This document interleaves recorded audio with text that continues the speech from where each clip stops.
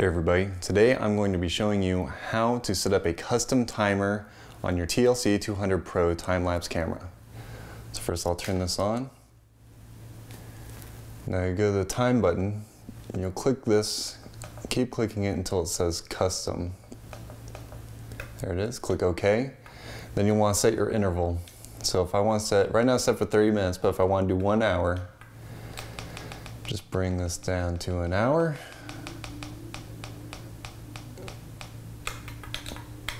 Okay, so now it's set for an hour. So now, if we click OK and we do everything, it'll just keep shooting once an hour. But what you'll probably want to do is set a timer. So you go to Menu, Settings, keep clicking over until we get the timer. Okay?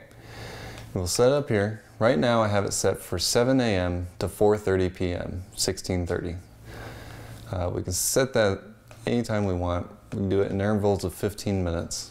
I'm to keep it there for now. And now you're good to go. If you ever want to turn that timer off, go back to your timer and click cancel. I know it's kind of confusing between exit and cancel, but cancel is to cancel the timer. Exit is just to exit out of this menu. So now, click OK. It'll give a second. Now it's ready. It's recording, recording, recording, recording, recording, and it shuts off. The camera's not off. It's going to start again in an hour.